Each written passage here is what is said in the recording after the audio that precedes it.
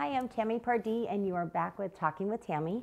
And I'm just answering some questions that I get asked a lot. So I hope this helps if you have this question as well.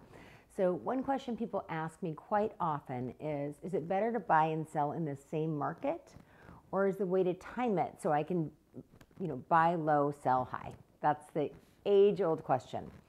And I will tell you the safest thing to do is buy in the same market because you know that you're, where you're selling and you also know where you're buying. So if the market is uh, is lower, you're buying in a lower market, but you're all, you're selling in a lower market, but you're also buying in a lower market, which is actually better for tax purposes for you. We do have different timing strategies. We can go over with you different times of year, different days that are better to buy. So if you want to our inside scoop on that. Um, we can go over those literally day by day with you. But really, buying and the selling in the same market is really the safest thing to do, and not trying to time the market to you know obviously sell high, buy low. It's it's very very complicated to do that.